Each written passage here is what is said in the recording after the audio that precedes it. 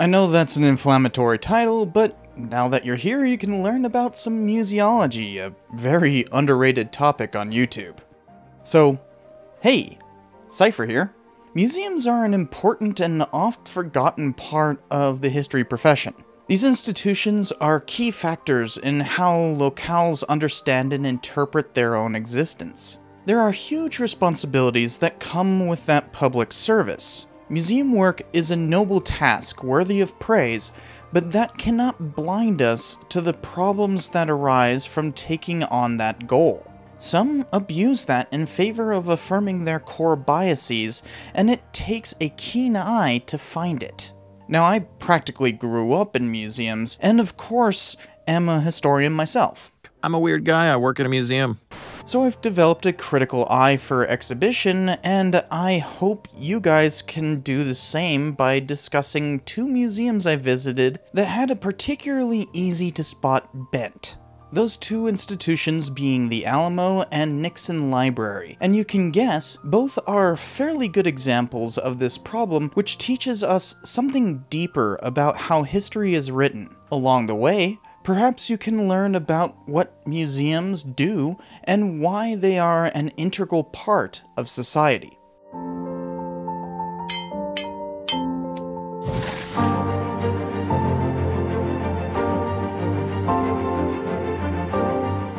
Thanks to viewers like you and MyHeritage for sponsoring this video. MyHeritage is a genealogy service which can help you research your family background. They can match with other people's genealogies and the over 19 billion records that they have digital access to. In this episode, I'm talking about museums, and my father was a museum director for many decades, so I started exploring his family line. It took me only a few hours before I was able to trace my family name back centuries. Just going patrilineally, the Pattons have a lineage going all the way back to at least the 14th century, including an Elizabethan historian. So I guess the history gene skipped 12 generations or so. There's problems with the precision there, as anything going back that far does, but MyHeritage helps to find those discrepancies, which you can iron them out with further research. Generally, I don't put much credence in lineages that far back, for what matters most is the stories you have that can only go back a few generations. But it's pretty cool to be able to print a family chart like this. They can also enhance, colorize, and animate old pictures. We're all related if you look deep enough, but you can also use their archive to research individuals outside your immediate tree. So there's a lot to do with their service, and you can get a free two week trial with the link below. And once that trial period is over, you'll get 50% off from there. So go check them out, and on with the show. First, let's talk about what a museum is. And the next 20 callers will get this album of museum noises. Now your music room can sound just like the Metropolitan Museum in New York. There are other types of museums than ones devoted to purely history, such as art and science. But the one thing that unifies them is that they collect artifacts, maintain them for posterity, and exhibit a fraction of those. A museum is essentially an archive with exhibits. They serve a public purpose of preservation first and exhibition second. As such, they must be a non-profit organization to be a museum. There are plenty of attractions that claim to be museums, but are for profit or do not preserve artifacts for posterity, so they aren't museums. Once again, they must preserve artifacts and exhibit a few of them. That's what a museum is. They serve their community by interpreting items through exhibition and protect their collections in perpetuity. The American Alliance of Museums states in its core standards the museum is a good steward of its resources held in the public trust. The museum identifies the communities it serves and makes appropriate decisions in how it serves them.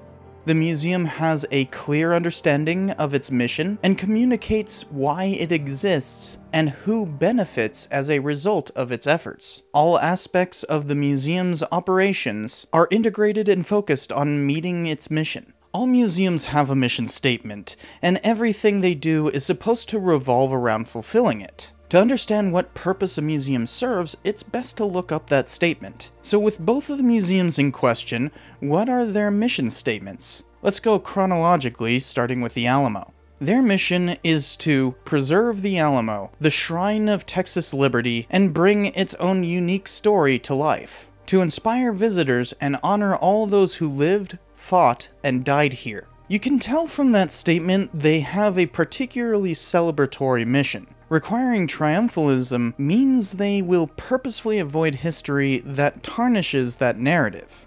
Of course, bringing its own unique story to life means that it would have to bring up those things. So their mission statement is actually inherently contradictory. But the key part is that triumphalism, and that was pretty obvious from both of the visits I made there even though there was a significant difference between when I saw it in 2018 and 2022, which made me want to make this video in the first place. Interestingly, the Alamo had regressed between these visits. So, let me explain. In a report I wrote from my first visit, I said, The Alamo is trying to project a new interpretation of the site. They can only do so subtly because it is a contested interpretation, and has only recently been implemented. They are subverting expectations of triumphalism by broadening the context of racial diversity. Unfortunately, I couldn't take any photos inside that time because of their rules of reverence, an abominable way to control visitor behavior. But I do have that report from 2018 to compare. That reverence policy changed when I came back for the Western Historical Association's conference in 2022. The difference between the two times clearly showed that they were avoiding some of the interpretive subversion that the 2018 visit showed. So, what makes the Alamo so contested? It's an old Spanish mission that became a barracks during the Mexican period. When Antonio Lopez de Santa Anna came north to halt the revolt in Texas, he took San Antonio. The local garrison held out for a couple weeks before getting wiped out. Another couple weeks later, the Mexican army massacred over 400 prisoners at Goliad. That atrocity and the memory of the last stand at the Alamo drove the Texans to regroup and defeat Santa Anna at San Jacinto, routing and killing even more Mexicans than they had of Texans. Now, I've already covered these events in a previous episode, but more interesting is what happens later at the Alamo. For the most part, the site got neglected. It became a US Army barracks for a few decades being abandoned in 1876. Then it became the backdrop building of a mercantile firm until 1904, when the Daughters of the Republic of Texas, or simply DRT, bought it with a loan from local philanthropist Clara Driscoll. President Roosevelt gave a speech there in 1905, somewhat inaugurating DRT control of the site. The DRT tried to lease the Long Barracks to an outside firm, which is actually where the final stand took place. In protest, Adina Amelia de Zavala, who was the granddaughter of a Texas revolutionary, shut herself in against a sheriff trying to evict her from the barracks for three days in 1908. She successfully got the building kept in public hands, despite Driscoll attempting to make a profit for the organization. The DRT became increasingly anti Hispanic as the nation as a whole became more xenophobic passing the 1924 Quota Act, severely limiting Latino immigration. For instance, they placed the cenotaph in 1940 that had a list of defenders from Amelia Williams, which was grossly inaccurate and purposefully avoided Hispanic names. When Zavala died in 1955, the DRT refused to let her lay in state in the mission. That's how fractious the group had become. The Alamo and its memory was often used as a shorthand for anti Hispanic sentiment. In the 1990s, a series of problems with upkeep proved that the DRT was neglecting their duties. The controversy got them to change some of the site's interpretation to include stuff about mission neophytes and emphasize some of the archaeological work throughout the area. This controversy with upkeep in that was revived in 2010 when an investigation proved that they had been mismanaging funds, leading to the transfer of ownership to Texas as a whole. Ever since then, they have swayed between more inclusive interpretation and removal of that greater context. The interior of the main chapel remains relatively unchanged, but the outside is fair play for this contest over perspective. So, from all that, we can surmise four pressure points of interpretation Hispanic inclusion, neophytes from the Spanish period, the existence of slavery, and use of the location as a symbol. Only one of those is actually applied by agreement of the DRT from both of my visits. They highlight much of the history of the mission prior to its abandonment in 1793. Now, neither time had any mention of slavery whatsoever, including issues related to slavery that contributed to Texian frustrations in 1835 and the use of the buildings by Confederates, which that rebellion was obviously motivated by the preservation of slavery. Now, I will point out that it's become a bit of a myth that the Texas Revolution was mostly to preserve their slaves, something one of the books in my bibliography is particularly bad at. But it was nonetheless a significant factor, just not a primary cause. Also, neither visit had any interpretation of how the Alamo has been used as a symbol. Instead, they actually perpetuate some of that mythology through the various tributes throughout the site, none of which have any recontextualization. I'm not a fan of removing monuments when they can just be recontextualized, but you have to recontextualize them. As one author writes, those who live in San Antonio see the Alamo as a combination of holy shrine, battle site, tourist attraction, and political carnival. They see the martyrdom of Bowie, Crockett, and Travis, as well as the Alamo's shadowy side as in the relentless pitting of Anglos against Mexican Americans, the obsession with blood lineage, and the confusion between sentimentality and realism. Honesty requires exploring those deeper issues, but obsequiousness to the Alamo myth means they're unwilling to. The interesting difference between my visits was Hispanic inclusion. When I went there in 2018, there was plenty of information throughout. There was also a specific panel in one of the halls about the Mexican perspective of the battle. They even had some information about how Tejanos were persecuted and excluded afterward. When I returned in 2022, none of that remained. Instead, they doubled down on tiny and honestly insignificant details from the battle. They kept the stuff about Hispanics who were on the Texas side, but only portrayed Santa Anna's force as invaders, a distinctly partisan stance given it was a rebellion. They were trying to defeat a rebellion. Duh can't invade your own country. No historian worth their salt would say the British invaded America in 1775. This invasion narrative is an obvious attempt to associate the attack of the Alamo with illegal immigrants today, a distinctly prejudicial interpretation commonly used to drum up anti Hispanic sentiment. Regardless of Mexican brutality, they were not invaders. This erasure perpetuates the anti Hispanic mythology of the Alamo and directly violates their mission statement to bring the Alamo's own unique story to life. Beyond that specific problem, it also hinders the community of Texas as a whole, which it's supposed to serve. Roughly 40% of Texans are Hispanic let alone the more than 12% black residents who get no representation through avoidance of the issue of slavery throughout the site altogether. But you also have to understand that they are required by that mission statement to maintain a triumphalist narrative, despite Texas obviously losing the battle.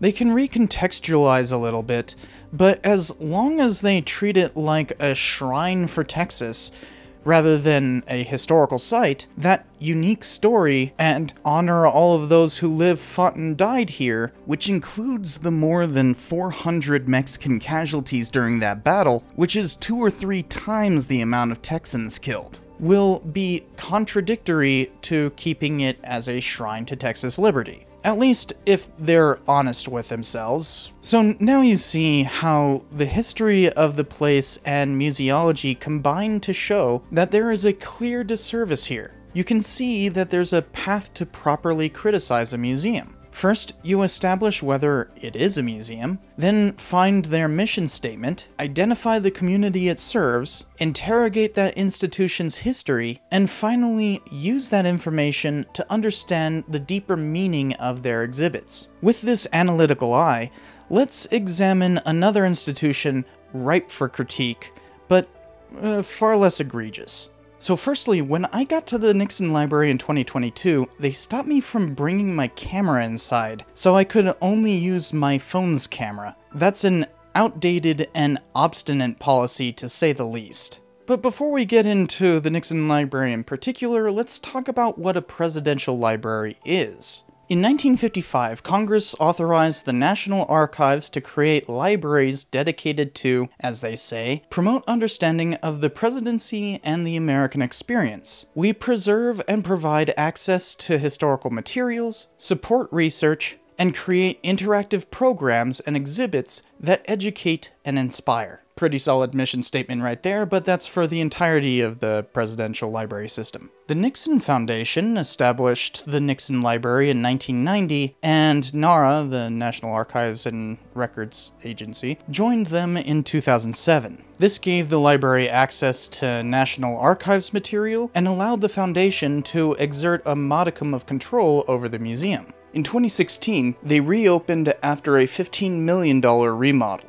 Their current mission statement reads The Nixon Library's primary mission is to educate and inform. We assist all those who search for knowledge and understanding of the 37th President of the United States, his administration, and his ongoing impact on the world. Okay, so there is a pretty strong mission statement there too, and the museum is far better than the Alamo, beyond a shadow of a doubt. They also specify their community right there. The exhibits are well designed and aesthetically pleasing. I absolutely love the recreation of Nixon's Oval Office.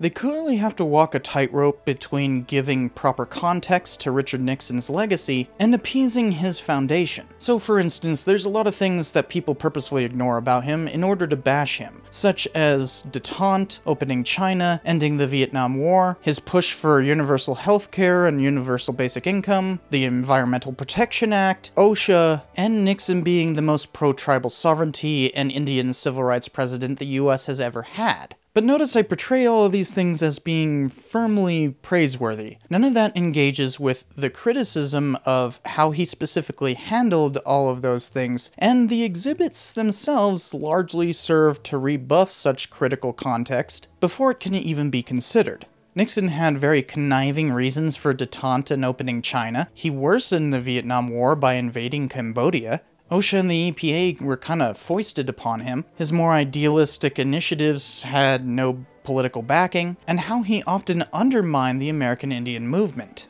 Basically, every exhibit can be criticized this way. They portray the moon landing as a Nixon program despite JFK creating it. They pretend his interference in the Middle East was an unmitigated success despite abandoning the Kurds and exasperating Arab Israeli issues. As you walk in, there's this whole setting of how crazy the 1960s were as a framing device makes Nixon seem like somehow he was fighting the madness rather than fueling it.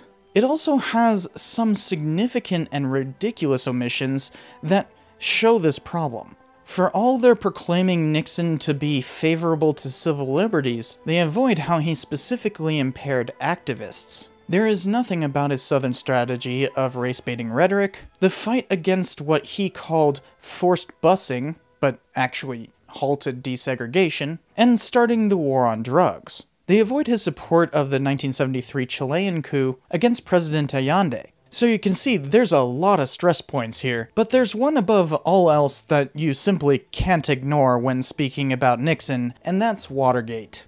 These other issues are omissions for the most part, which are inevitable and necessary in any telling of history. Sometimes what's not there speaks louder than what is. But of course, there is a Watergate exhibit in the library. In fact, NARA revised it in 2010 without the Nixon Foundation's permission, causing a bit of a rift, though they would eventually approve of it. Nonetheless, there are some serious issues with this place. Sprinkled throughout are little bits of text comprising the interpretation. For instance, they have the old evasive Nixon nonsense about other people did it too. He did that in real life, but that doesn't make it any better.